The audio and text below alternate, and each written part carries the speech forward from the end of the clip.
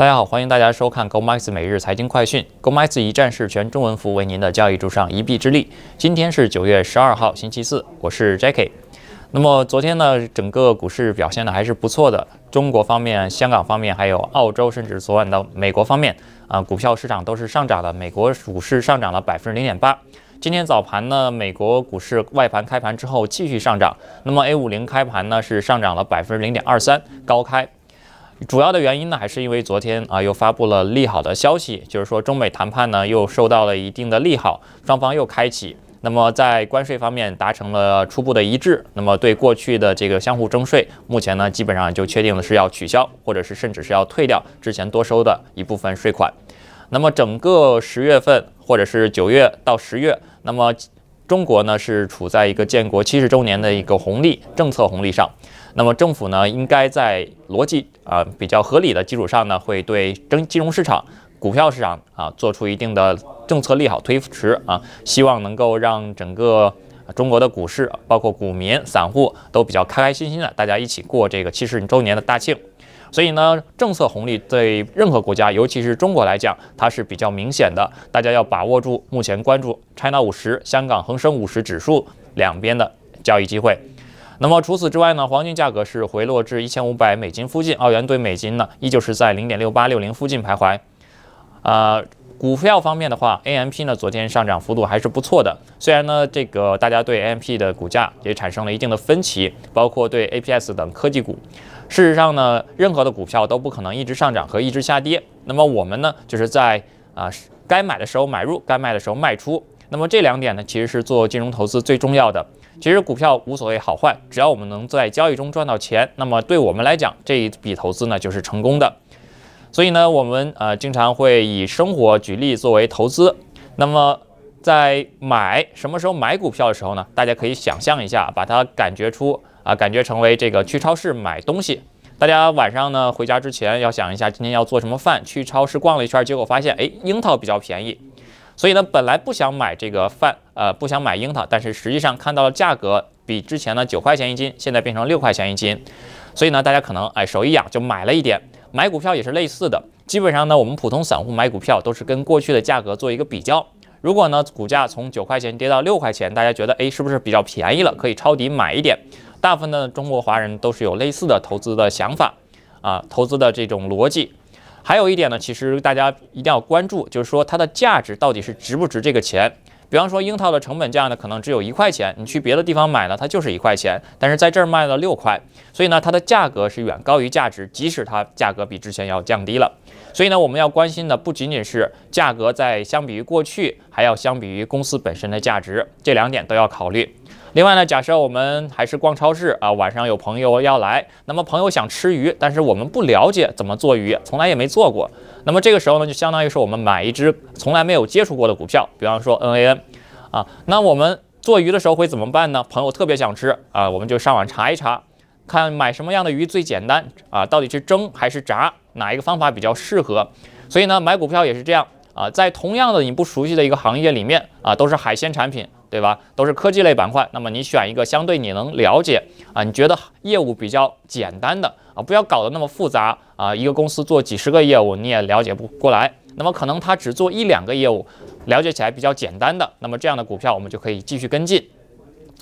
那么呃，吃一个鱼还不够啊，不可能一顿晚饭只有一个鱼，我们可以再逛一逛超市啊，看看有没有什么哎羊肉又便宜了啊，比上个月羊肉便宜了，同样是肉啊，比牛肉还要好，所以呢啊。买了羊肉，我们再看看买要不要买一个土豆啊？土豆炒羊肉，所以呢，它会作为一个就是说招待朋友的一个简单的满汉全席类的这种感觉啊。你不可能一个菜招待你的朋友。我们做投资也是一样的，如果你所有的资金都压在一个股票上，那你的风险太过于集中，风险进行一个一定程度上的分散呢，其实呢跟我们的生活啊，还有就是说啊息息相关，它是最简单的一个降低风险的方法。那么除此之外，我们再看一下中国方面，昨天呢香港股市大幅上涨百分之一点七八。啊，盘中突然上涨，主要的原因呢是中国香港交易所啊想要收购伦敦交易所啊，这个听起来很夸张啊，价值两千多亿港币，接近啊三千亿港币的收购额度。我们觉得这个事情啊不一定能成功啊，但是伦敦方面呢给出来的消息呢就是说可以考虑，哎，这样的话香港股市整个板块啊整个股市大幅上涨。再加上今天这个中美双方的谈判啊，又有了新的进展，那么进一步刺激股价的上涨。所以呢，政策红利确实是非常重要的。大家如果是手机能够看到这条新闻，马上第一反应就是，哎，我是不是可以做一些什么，能够让我的资产资金多一点？同样的消息，在过去我们可能啊需要从机构那里知道，打电话才能知道，并且还需要有什么五百万万以上啊澳币的投资额度，机构才会优先给我们打电话。但是现在呢，我们手里大家都能随时看到新闻，一定要及时的把这个新闻转化成生产力，转化成我们最终的获利。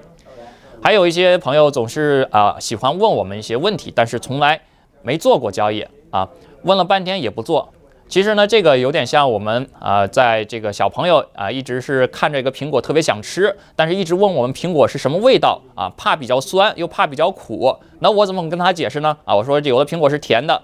其实呢，你跟他说什么味道，他永远无法理解，因为他没有尝过。那我们做投资也是一样的，小苹小朋友如果是前两个苹果都是酸苹果啊，吃了第一个是酸的，第二个又是酸的，他可能从此放弃了，就认为所有的苹果都是酸的。做投资也是一样的，你在第一个股票、第二个股票上亏损了，很正常。那么如果你从此不做投资了，你就会认为整个股票市场进去就是赔钱的。所以呢，一开始的观念我们要做的比较合理。啊，要理性的去对待整个金融市场，它就跟我们的生活是一样的。你甚至吃苹果都有可能吃了一个坏苹果，对吧？但我们不能说所有的苹果都是坏的，这样的逻辑就不成立。当然了，如果我们作为啊一个资深的吃苹果的人啊，可能三五年之后吃下来啊，吃了几百斤苹果，我们一眼就能看出来这个苹果甜不甜，闻一闻味道就知道这个苹果熟没熟，看颜色就知道这个啊效果怎么样啊，有没有是呃。一些比较值得，甚至还可以把苹果做成苹果汁儿，对吧？那么你的策略就会随着你的经验的丰富越来越多。那么这个呢，就是我们值得去学习和做的事情。还有最后一点呢，我们跟大家讲一下，就是为什么啊，金融对国家来讲这么重要？金融呢，其实通过三个方面大方面影响我们国家和居民生活。那么第一个方面呢，就是通过汇率影响。比方说现在呢，啊，我们是出口企业，对吧？我们就希望澳元越来越低，越低越好。这样的话，别人买我们的产品才更多啊。国际上的买家同样对比澳洲的矿和巴西的矿，如果澳元贬值百分之十，相当于是澳洲出口的铁矿石的价格贬值了百分之十。所以呢，汇率是直接的啊，贸易战的武器，或者说是这个金融战争的直接武器。那么第二点呢，就是股票市场。金融的股票市场不是我们老百姓想象的，哎，我炒点股赚点钱就那么简单了。对于国家来讲，股市的好坏直接影响一个国家对于国际资本、优质资本和企业的吸引力。我们看一下香港为什么这么想收购英国伦敦，一旦收购成功了，它将会成为全球第一大交易所，突破啊，超过美国纳斯达克。那么我们现在看到中国很多好的企业，阿里巴巴都是在美国上市的。凭什么他们在中国赚钱，而收获的这些效益或者收益，股东啊都是美国人，对吧？美国人可以轻易的去炒这些股票，获得这些分红，但是中国炒不到，中国老百姓买不到。所以呢，股市的吸引力对于国家啊，或者对我们普通人的能不能购买到全球最优质的资产，有着极关重要的因素。所以呢，我们要啊注意。股票不仅仅是股票那么简单，它更代表的是我们作为居民能不能享受到全球资本的一个利得。那么第三个呢，就是最关键的是定价权，金融定价权是最重要的。那么我们知道澳洲是比较缺石油的，假设全球百分之七十的石油都在澳洲交易所交易，那么好了，很简单，澳洲就有绝对的定价权。对于石油来讲啊，因为我们知道去年的话，石油价格差点是涨到了一百美金一桶啊，当时特朗普非常不爽。说石油价格太高了，影响美国的发展，直接让华尔街动手啊！动手的结果我们也看到了，沙特呢出了一些问题啊，王子也是被抓了啊，应该是。那么大家可以去看一下去年的新闻。那么之后呢，沙特妥协，石油价格呢就一路下跌。其实呢，这些事情就是直接影响到我们民生的，影响到国家之间的战略。现在呢，也不会说开着坦克、开着飞机去哪个国家打仗了。那么大家做的就是金融战争。所以呢，大家可以通过现在我们手机能够收到的这些新闻啊，国际国家之间的一些博弈啊，我们可以看出来未来三到五年的一些大的发展趋势，甚至我们能够安排合理的安排手中的一些投资策略。能够及时的通过政治啊，然后转化成生产力，转化成我们投资利润，这样的收益呢，其实是最直接的，也相对最有把握。因为政治事件一般都是直接影响金融走势的一些事件。好的，以上就是我们今天的全部内容。我们在九月二十二号呢，呃，是在北区墨尔本的北区呢有一场金融讲座，也是我们首次呢尝试在北区办讲座。地点呢是一啊一号 Cranmore Street 啊，然后呢时间是十一点到下午的两点。如果大家感兴趣的话，可以在我们视频下方报名链接点开之后呢，填取自己的报名信息。往期的记录呢也都在视频里面啊，大家都是可以去进行查阅。那么以上呢就是我们今天全部内容，感谢大家的收看。